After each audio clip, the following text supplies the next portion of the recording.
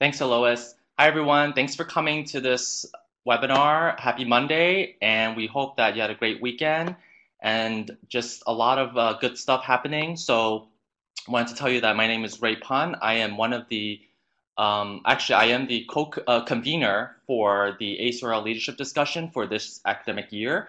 And I'm just uh, substituting for Alma Ortega, who is at uh, USD. Uh, currently, she'll be resuming her duties uh, in 2018. So we have a really exciting topic today for discussion to share with all of you. And I wanted to, uh, before we uh, introduce the speaker, I wanted to ask all of you if you can just type uh, where you're from. Uh, it would be a good way to, for me and Mary Lee to see uh, where everybody's coming from and get an idea of the geographic differences. Very cool. Hi, Anna. Hi, Janet. Oh, hi, Lisa. Thanks for joining from Houston. Temple University. Hi, Stephen, Allison. Oh, it's a good crowd. Hi, Meredith. Thanks for joining us, Janet. Hi, Tarita.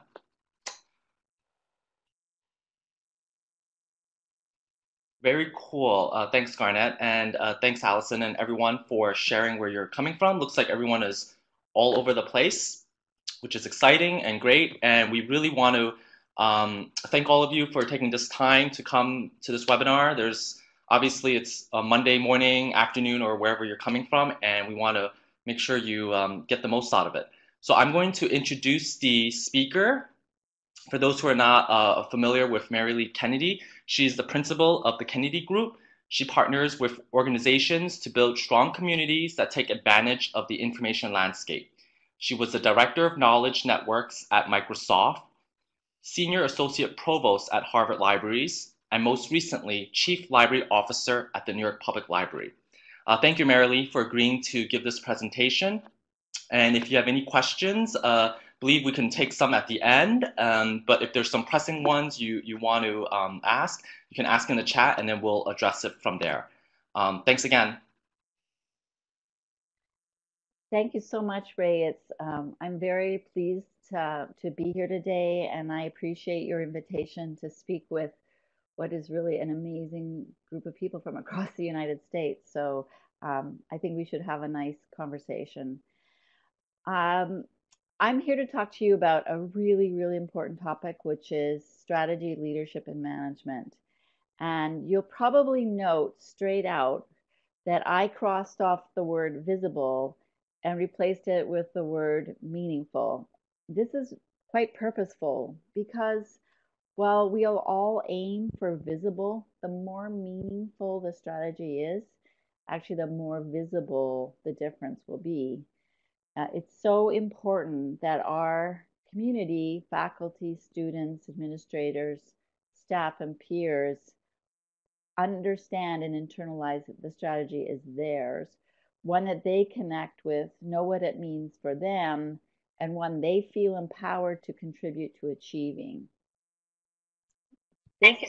Hi, Mary Lee. Sorry to interrupt. Us. A couple of folks have asked if you can speak louder. Oh, okay. Is that better? Please let me know. Is that better? Okay, great. I can see in the chat room. Thank you so much. Um, so this talk is really intended to be reflective for those who are already practicing strategy, leadership, and management regularly, and I hope thought-provoking for those who are new to it. It is based on many years of my own experiences leading organizations through change as well as the work of Rebecca Jones, who co authored a forthcoming chapter on this topic with me in the Handbook for uh, Modern Information Management. I've talked with lots of colleagues uh, in libraries, companies, nonprofits, and international organizations. And so today I'm hoping to share my knowledge with you. To get started, could we could I get a sh show of hands of how many of you are leading or managing a strategy that you put in place recently? Can you just raise your hands? One, okay. Okay, great. Awesome. This is fantastic. How about um, those of you who are, are considering how to set a new strategy direction?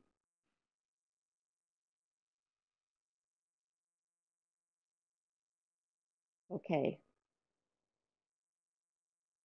Okay, great. Thank you. And how many of you are learning about strategy, leadership, and management, but haven't led one yet?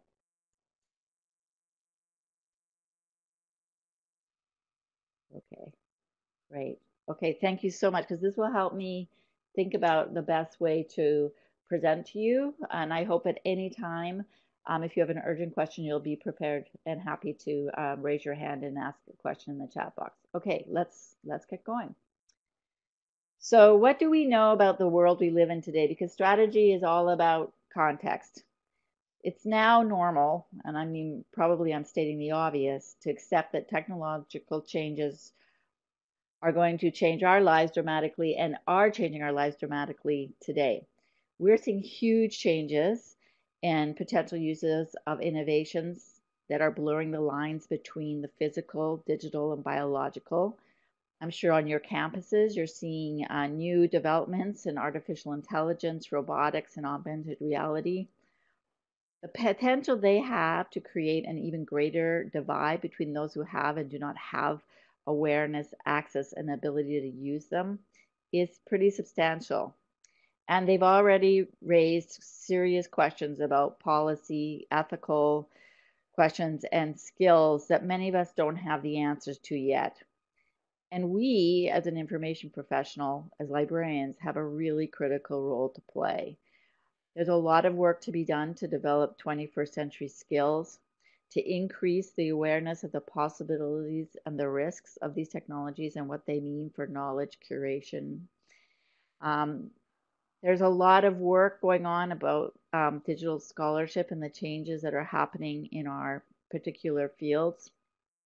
And frankly, Partnerships are being created all around us. But as always, there are more choices than any one of us can realize individually. So, what should the strategic direction be? Well, that's up to you. So many of you, as you're beginning to set directions or leading a new one or thinking about it. But it's hard. It's really hard um, to do strategy well. Um, a strategy does show and demonstrate progress towards a vision, but it's more than that. It's essential to the relevance of an organization and for some, whole industries.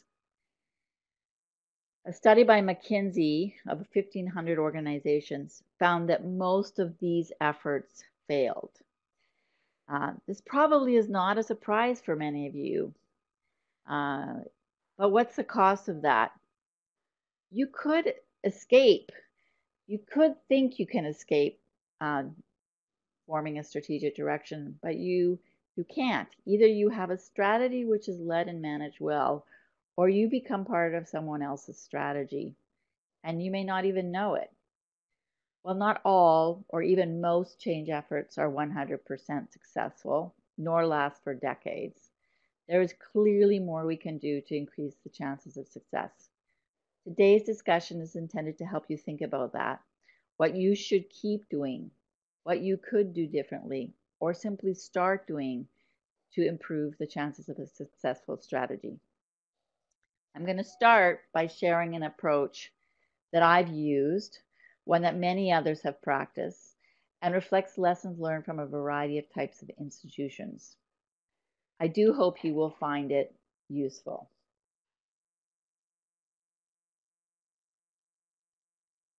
First, strategy in this century is very challenging. It's complex. It needs to be contextual. You need to be connected to many different types of relationships. It needs to be organic, which means that it can change it in any part of an ecosystem. It needs to be informing. It needs to be empowering. It needs to be generative, meaning it can renew itself. And most importantly, it needs to deliver value to the intended audience. So, Let's talk about how we might do that and what does what is strategy then under these conditions. Sometimes it's easier to start with identifying what something is not. So let's just put this straight out there, which I'm sure is not news to any of you. The first is the first is a not point. Strategy is not a plan written on a piece of paper to be reviewed when speaking to key stakeholders. What it is is a living state. It is, yes, there will be documents, but it is the discipline, art, and science of deciding where to invest in innovation and then getting it done.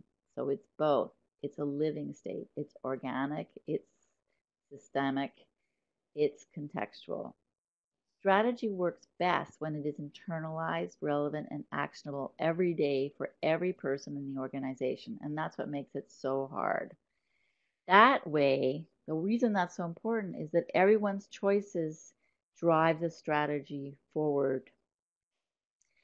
If it isn't perceived to be relevant and actionable, which is often the case, it really doesn't deliver its full potential, its value. Strategy then becomes a waste of time. It's okay not to be 100% right. In fact, I would say it's really almost impossible to be 100% right. It's not okay to be wasteful. So, how can you and your organizations make a meaningful difference? I'm going to walk you through four key components for strategy, leadership, and management. Each of these is important. You may find you need to think about all of them, or you may find that there is one that is particularly relevant to your situation. So let's start. Value. At the end of the day, the most important thing about a strategy is that it delivers value to its stakeholders. And value is generally defined in two ways. The first way is the regard that something is held to deserve, the importance, worth, or usefulness of something. The other definition of value is a person's principles or standards of behavior, one's judgment of what is important in life. In this context, we're really for, focused on the first definition, meaning its importance, its worth, or its usefulness. And by its definition, then, value is almost always subjective, unless we can assign a quantitative metric to it, which is actually an essential part of what we need to do with a strategy. Determining what the value is is the single most important first component in strategy leadership. I have a model I like to use, which I think could be useful to you as well if you aren't yet familiar with it. The focus of this model is on how you can best contribute to the common good for your target audience.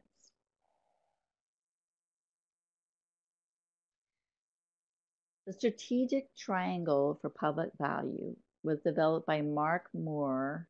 Uh, it was first published in 1995. Mark Moore um, is a faculty member at the Kennedy School of Government at Harvard University, and it was initially focused on government's value. Um, since then, though, it has been applied to corporation. It's been used in nationally and internationally with libraries and other types of institution. What's really helpful about this particular model is that it's quite practical. It focuses on the elements that define value for the target groups and the elements that are needed to deliver it. So it's not just what's desirable, but it's actually as well as what's achievable. It helps to take the subjectivity out of value. Each of these three parts support the other.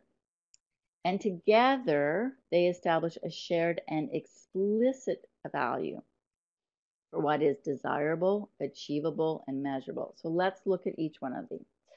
Stakeholder value or public value, as it is established here, is really what is the important value that the library produces. It could be the library as a whole, or it could be a particular strategic intention of the library. And I'm going to share an example to, uh, with you in a minute, which is really about a strategic intention.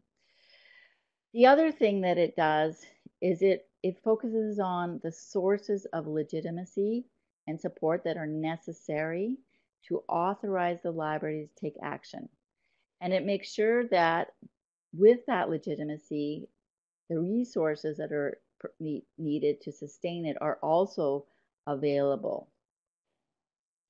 The importance here is you begin to get uh, sort of a reality check on how far your you can deliver on a value. What are the constraints and what are the opportunities that exist for you?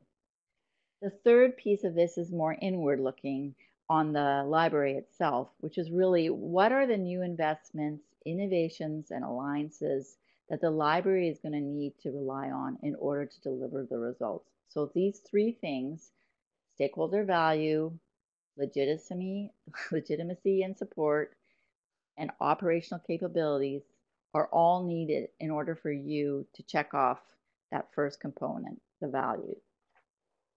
Let's take a look at an example. So here we are.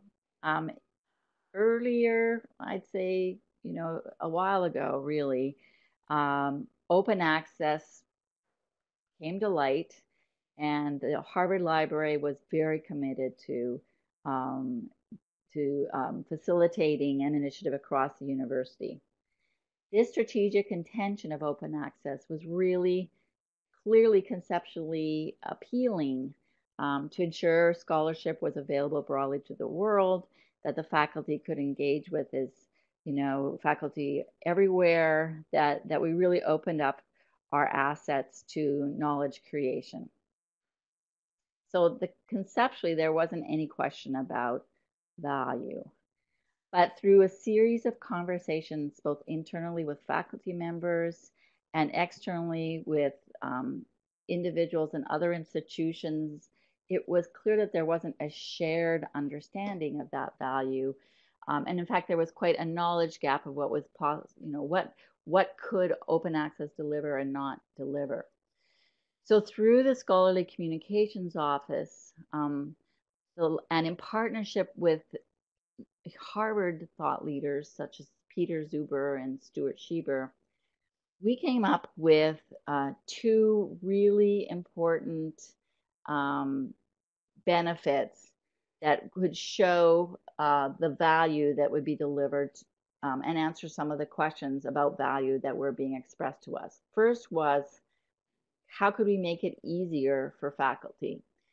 And this came down to financial support and not just financial support, but process support. So there was, so they weren't sure how it would work out financially, who would pay for what, and they weren't sure, and they were pretty clear that they didn't have the time to really uh, apply all these processes.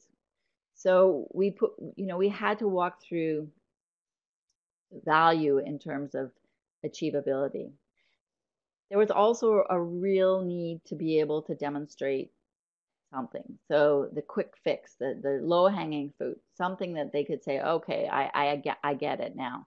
And so we actually moved to open access to all our metadata, which um, many of you may not be aware of, but some of you might. And that was really a big, a big deal and, and took work, but it wasn't an insurmountable problem. It was really something realistic that we could get done. Furthermore, uh, the team worked with publishers, copyright scholars, our academic leadership, um, so academic deans, and and just the fundamentally the repository managers to make it easier for people to use and find what they needed to make open access compatible um, uh, with the 10-year process uh, where it was adopted and to continue to work on economic affordability. In fact, we ended up engaging faculty in that. So the more they saw a role and the benefit, the more shared value they perceived there to be for them. It was obvious uh, that unless the influencers within the university bought into open access, uh, that we couldn't get much traction. And thankfully, we were able to make the case because the faculty themselves made it. The librarians definitely influenced it, but through the faculty body, they made the case. It was not a unanimous agreement, and we had to work hard to, to, to lead up to that discussion. But the more faculty understood the need for it and understood the context of scholarly publishing, the more substantive the conversation became. And their active engagement legitimized this important issue.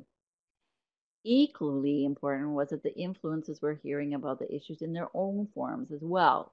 So our role in participating and, and enabling um, peer discussions among provosts, presidents, and scholarly societies was frankly where they they began, I think, to to recognize it's something that we had to address. Lastly, it's no easy thing to put in these uh, changes, and uh, significant time really had to go into policy development um, significant um, buy-in by partners within the university, such as our intellectual property lawyer, um, work with the deans um, on processes and their administrative offices on processes to secure um, a place for peer-reviewed open access journals in their tenure processes, library expertise to help with author rights and repository management, um, all of these were really important operational capabilities that had to be put in place as well. So the result was yes. I mean, there there is significant commitment to open access at Harvard. Um, it took us to build value through achievability as well as desirability. We did make progress. It hasn't been solved. Recently, I co chaired a working group at the Social Science Research Council on social science knowledge curation under digital conditions. And many of these topics on OA remain live topics among librarians, publishers, academic leaders, scholars, and students. I also recently spoke with Peter Suber, who was sort of a, a really er, pioneer in this field. And he told me that we're still facing the same issues today, that we just have to address them slightly differently and while progress has been made, there is much to do. So I think the point here is that it takes uh, it takes looking at value on through three core components: stakeholder value, reaching an understanding of what that explicit shared value is, the ability to uh, have legitimacy and the support, understanding what you're dealing with in terms of that, and the third thing is to be able to understand what you're capable of actually implementing to show progress. So that's the first component. Is there any uh, burning question now? Otherwise, I'll move on to the next to the next slide.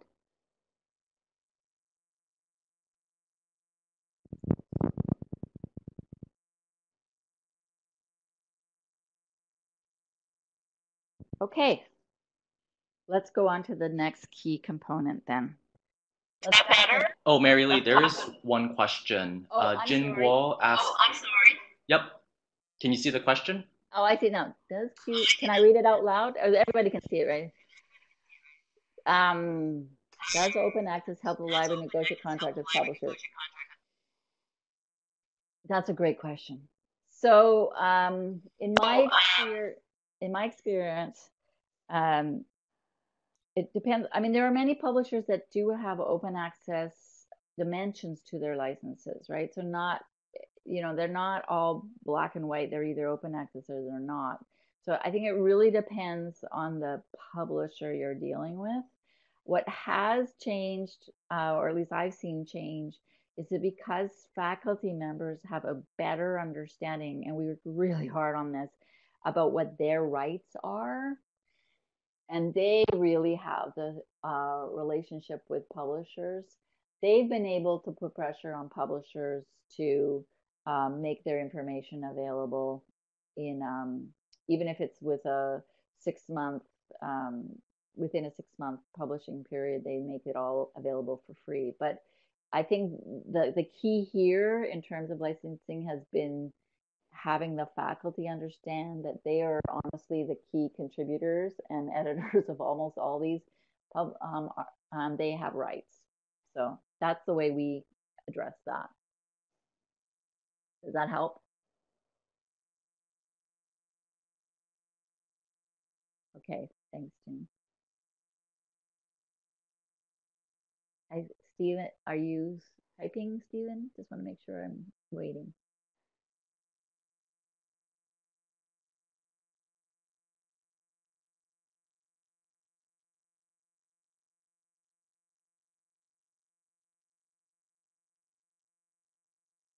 Ray, do you think I should go ahead?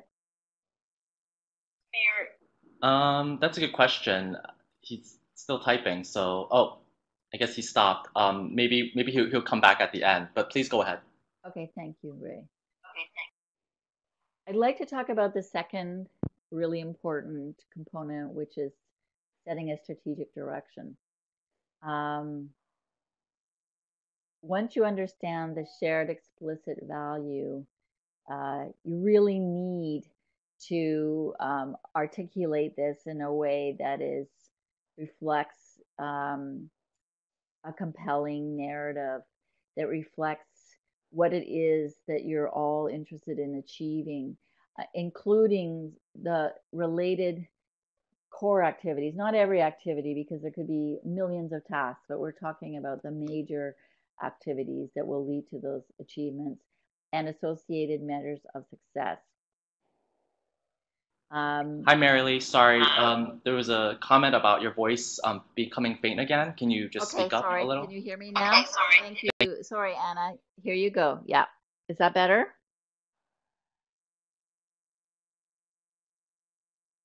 Yeah, my apologies. Okay. The process of setting a strategic direction is best described as a series of decisions that engage the stakeholders and their knowledge.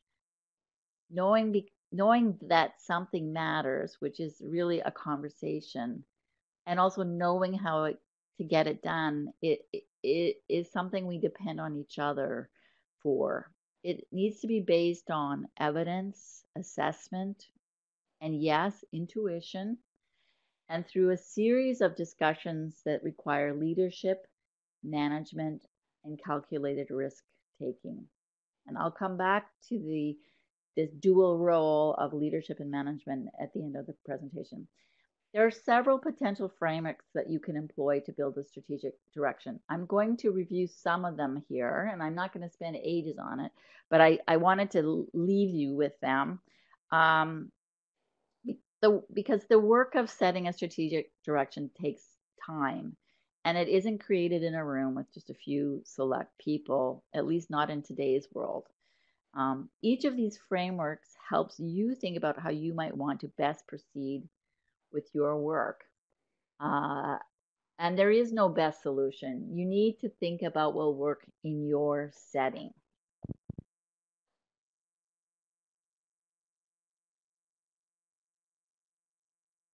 Okay, uh, so just to remind you that it's a compelling narrative, you end up with a compelling narrative. You have a set of target achievements, related activities, and uh, indicators that uh, can measure your success. So let's talk about the frameworks a little bit.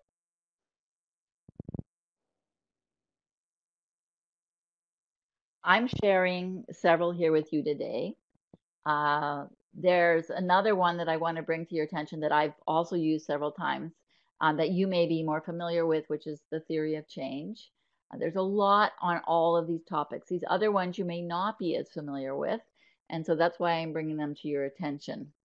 I'm going to briefly uh, summarize this for you, uh, but there's a lot of information on each one of these uh, in the literature. So I hope this is either a, a good introduction or a helpful refresher. So the first thing I want to talk to you about are some foundational, like really foundational um, uh, frameworks. The Art of the Long View was published in 1991.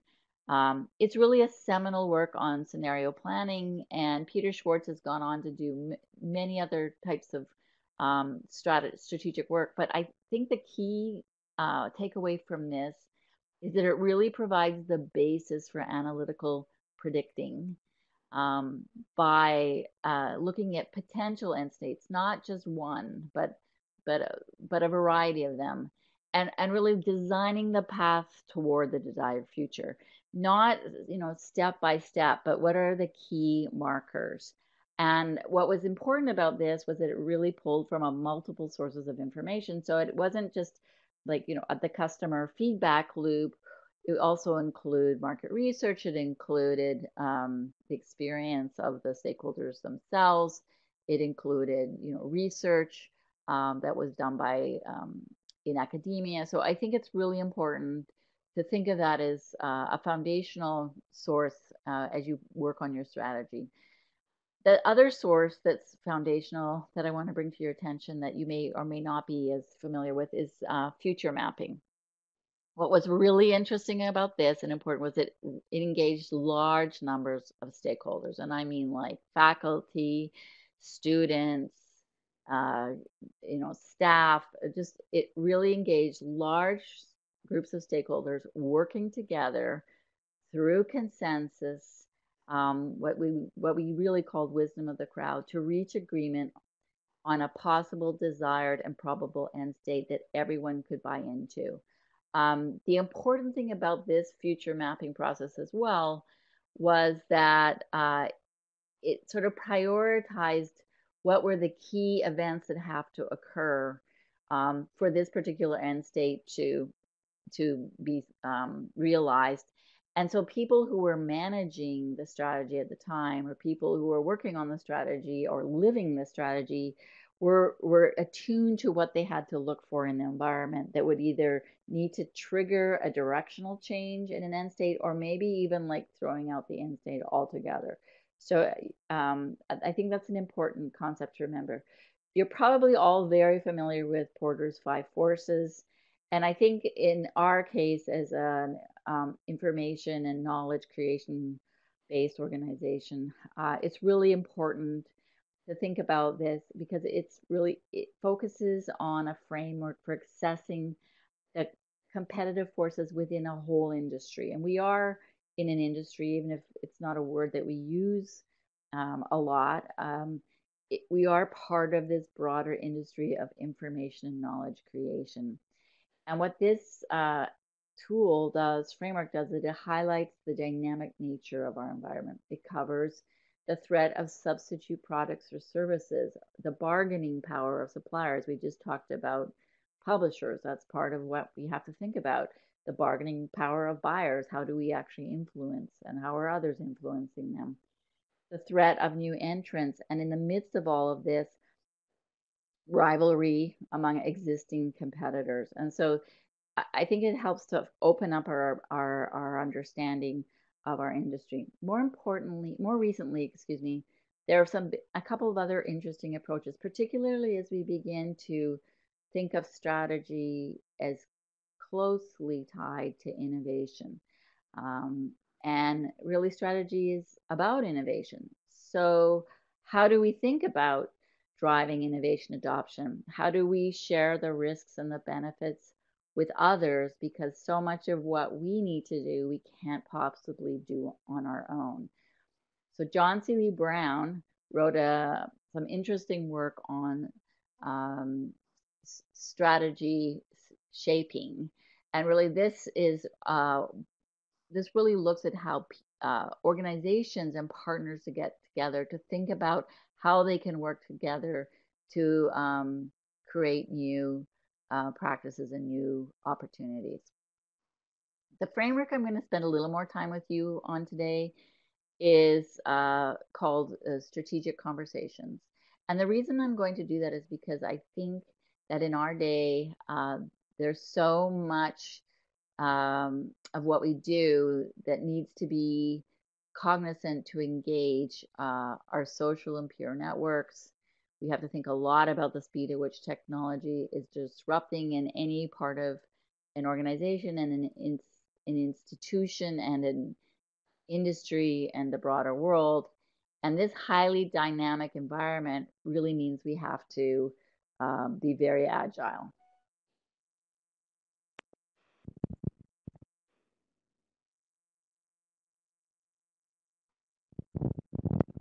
So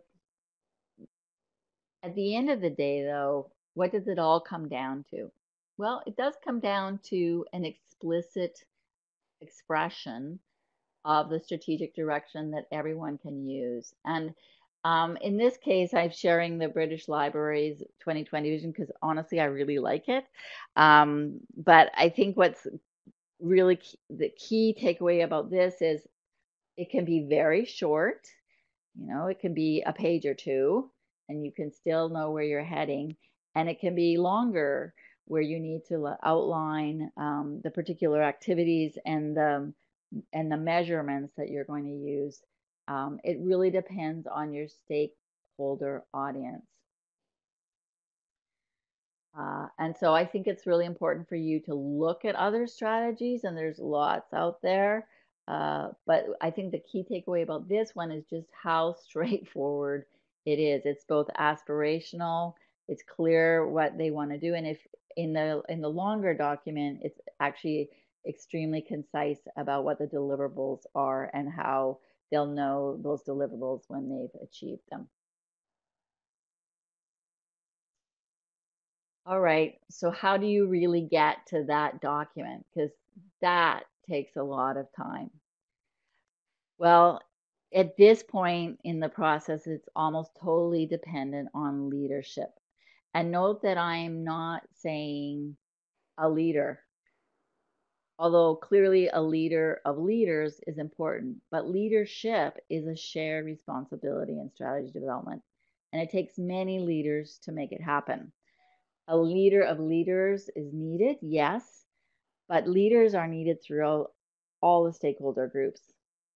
Leaders take on the responsibility to identify the opportunities, to recognize and understand how to best minimize the constraints which always exist, such as budgets, physical space, hiring policies, and to calculate the risks, costs, benefits to relationships, to efficiencies. That is figuring out what it will take to deliver on the vision. So, leadership, curiosity, and conversations are really the art, science, and the discipline that lead to the strategic direction. But it begins with conversation. I use this uh, process knowingly and unknowingly uh, pretty much throughout my career. Uh, so I want to uh, share this data with you because I think it will be very helpful to you. Um, this is based on a book and a work that was written by J.C. Spender and Bruce Strong on strategic conversations. There are many people talking about strategic conversations and strategy emergence through full stakeholder engagement. So you can find your own, but I think the important point here is that it's important to uh, execute a strategy in an inclusive way. Um, it's, it's extremely important because this is the way that you ensure your strategy is meaningful, which will ensure that wherever anyone interacts with your organization, it will also be visible. So under the top-down model, management can either be um, can either be make a good decision, but in doing so, they disenfranchise employees, and many of us have seen this. Or they can make a poor decision, and this happens too. And the employees are not only disenfranchised, but they're cynical about management's ability. Either way, it leads to an unsuccessful strategy. So um, the 80%, so the 80% of, or I think it was 79% that McKinsey found could be successful really uh, engaged in uh, conversations. And um, this not only makes the conception and execution of strategy better, it makes it faster and it makes it more efficient. This is precisely what we use in the context of our innovation communities at the New York Public Library. And although we didn't follow this, you know, Step by step, when we built the strategy to begin with, we did engage over 500 members of staff, board members, and patrons in establishing the strategic direction. So conceptually, it was this idea of broad stakeholder engagement. And so, what I want to do is be able to show you um, uh, some work that we did with that. So, um, conversations then are not top down and they're not bottom up. Okay.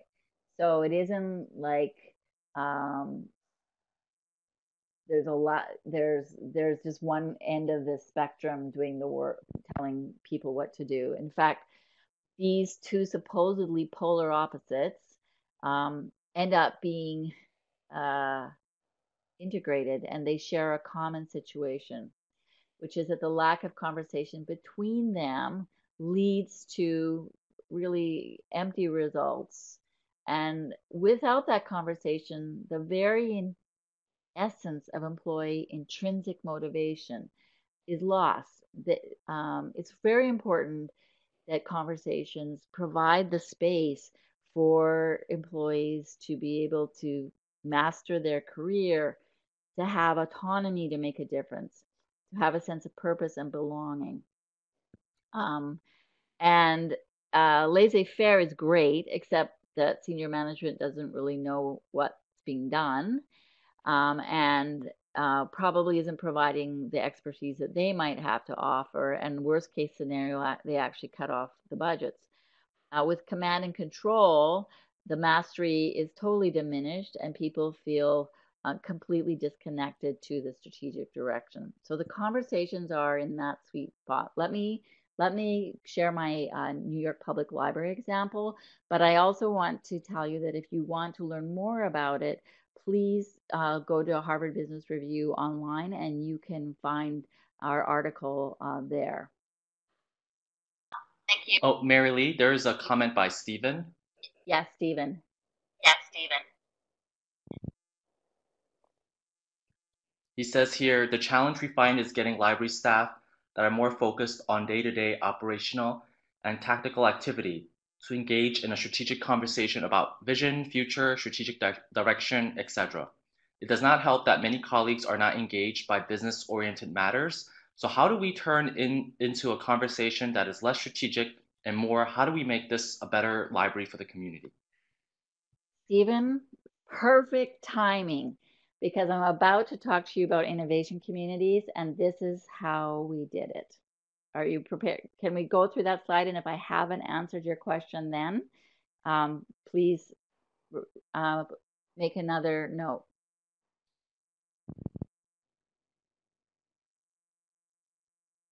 So this was precisely the problem we were facing at the New York Public Library.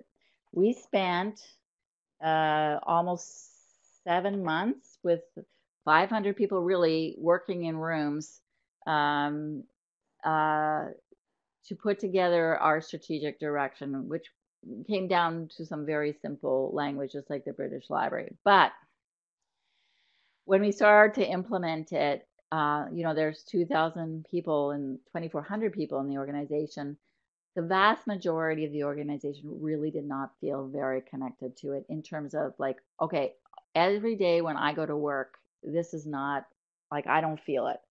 So I brought in Bruce Strong and we worked on innovation communities that were based on those achievements. So if we wanted to increase access to information for students in in middle school, partnering with schools because these kids were in high needs neighborhoods and they didn't have access and we had a really important role to play. That was the aspiration.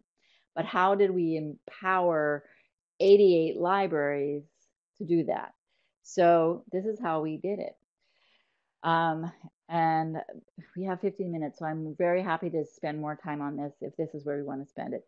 Um, we set up, uh, we basically put a call out to the entire library staff to participate on uh, what we call the innovation communities to help them, and these were not, you know, you're not, you know, executives, to help all the people that were facing part of the process or part of circulation or part of reference or part of book collection development to bring them in and say, how are we going to get more books used by kids in these middle schools to help them get better grades in their classes. Um, and another thing that was was how are we going to uh, one of the concerns by the staff was that this all sounded great, but they didn't actually uh, feel like we had uh, an easy way uh, for doing, you know, a good reference model for the library anymore. And so these innovation communities were very tactically based, but they pushed the strategy forward. The teams were based, there were three core teams in our case. And so the core teams didn't do all the work themselves. They, there were specific roles. They volunteered to be leaders. They had to have a certain amount of expertise, and they were given the time and the space and the recognition for taking their role on. So it wasn't extra work. We provided them with um, people who were experts in analytics and project management and um, uh, focus groups, etc., so that they didn't have to become an expert in anything, but their team was going to help them drive towards changes in the way they did their work that showed a visible difference in their very specific local community. Um, I have to say that the results were are published in the Harvard Business Review, and we ha- they did see really important change, and perhaps even the most important change because it takes time. You know, we did do good work in the six to one year mo- that we did this work, but over time is where you're really going to see the difference. Um, but these staff members became very, very connected to the strategy and therefore felt empowered to change things in their own daily lives as well as to bring it to the attention of a cross disciplinary group of people rather than feeling completely disempowered. Um, on the leadership side, what we set in place was uh, a a physical space where everybody could go to do the work. We set aside a day a week so they knew they didn't have to do any other kind of work. This was the work they were going to do because they knew it was going to benefit every day of their life in the library. And and we gave and we rewarded and recognized them. They were allowed to. They presented all their work to the, the entire library. They received, um, you know, kudos from the president. They were they learned new skills, which they also felt like they were getting professional development. Um, we really broke down barriers. The other thing we did is because not everybody could participate on a core team, is people became testers. So people who wanted to try out these ideas in different library locations volunteer to be testers. And so they felt very committed because they were trying things out in their own communities. And then there were other people who may have not been as attached to the particular um, uh, event or the particular um, uh, operation, but they had a, they had knowledge or they simply had an opinion of what mattered, and these people became the conversationalists. And this way, for these three innovation communities, we had active, and I mean active engagement, not just once or twice, active engagement by about 200 people across the library focused on these very specific issues. Um, I can tell you that the library is continuing to use innovation communities, and so uh, it did take hold. So you have to drill down and you have to have the conversations not about the strategy alone, but the how you're going to make it happen. And that's what's done with the people who actually do the work. I hope that answers your question, Stephen.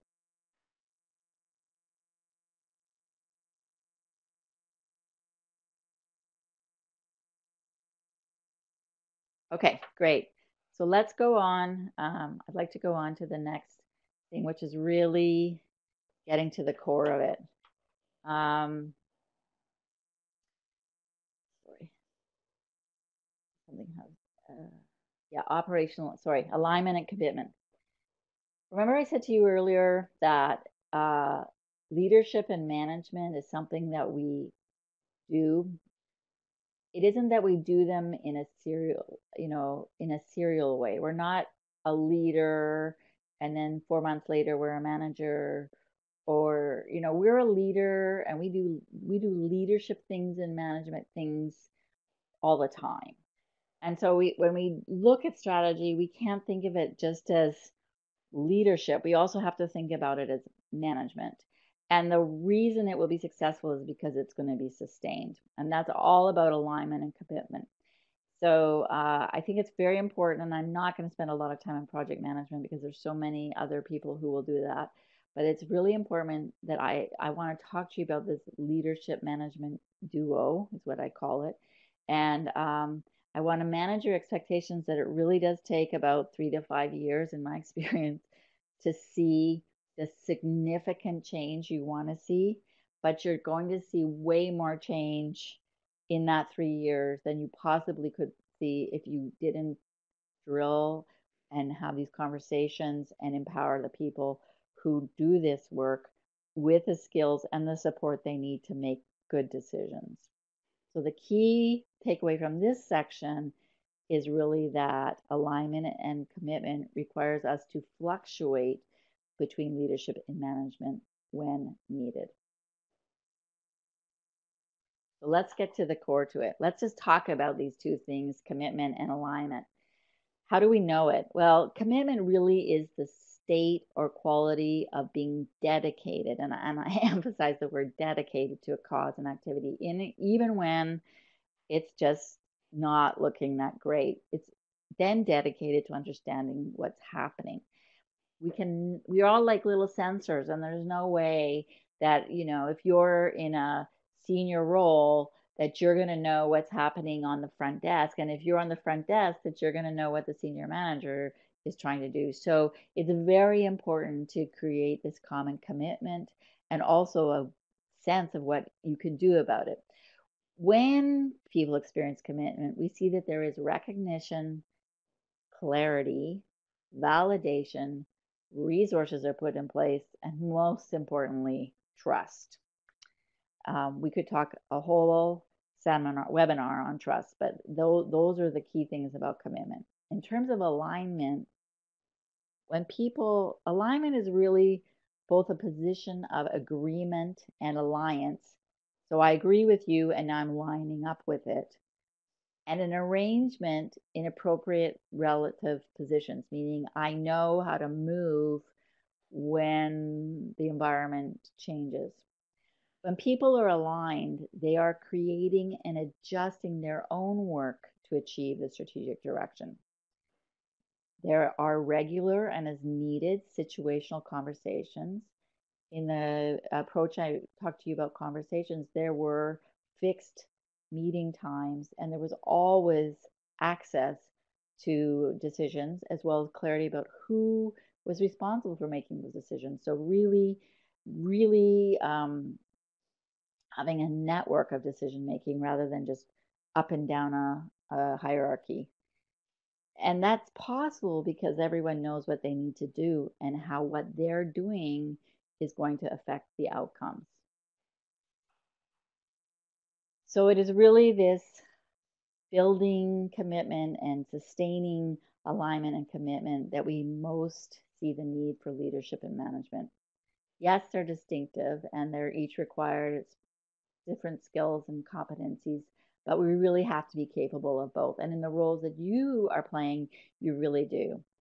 Um, so uh, here are, you know, the responsibilities of these uh, leaders and managers. I'm not going to read this out for you because I think you can see it, but you'll see that I also conclude with it's really important to celebrate. Um, at you know, I, this is something I really learned at Microsoft was how powerful a thank you is, how powerful uh, an event of, you know, it doesn't have to be an expensive event is. It's just the as you accomplish things as a team in your strategy, it's so important to recognize everyone for what they're doing. So I have a few minutes and I don't want to leave without a couple of minutes for questions at least. And so look, meaningful impact is only possible when it's crafted with the stakeholders and i mean students faculty you know the whole shebang um, if you want to make it sustainable, you're going to have to be a leader and a manager. And um, it's really going to depend on you paying very careful attention to value up front, to bringing everybody in in the strategic direction setting, to um, to working with a team of leadership, so leaders everywhere, managers everywhere. Um, every single individual has the capacity to be a good leader and a good manager. And through this, you can uh, create a meaningful uh, difference. And if you're creating a meaningful difference, I promise you it will be a visible one. Thank you.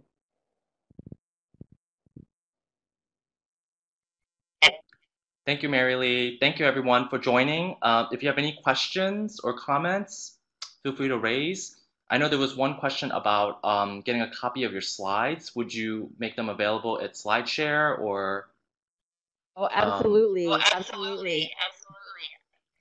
Okay, great. So I can get that from you and share it with everyone later. Yeah, for sure. Yeah, for sure.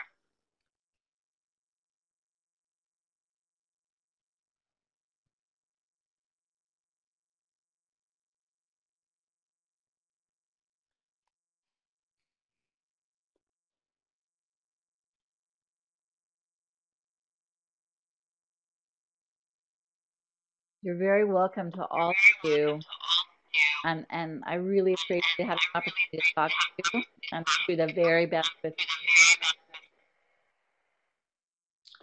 Yeah, if there are no other questions, uh, just um, feel free. I just want to mention that uh, we will be having another webinar by uh, Je uh, Jessica Clemons from University at Buffalo. She's the Associate University Librarian there to talk about being bold through change. It'll be sometime late October, so stay tuned for that. But if there are no other questions or comments, uh, you're welcome to leave. And uh, thank you again. Uh, thank you, Mary Lee. And hopefully this will help everyone and inspire them to take on a leadership role in strategic planning. Thank you. Bye bye.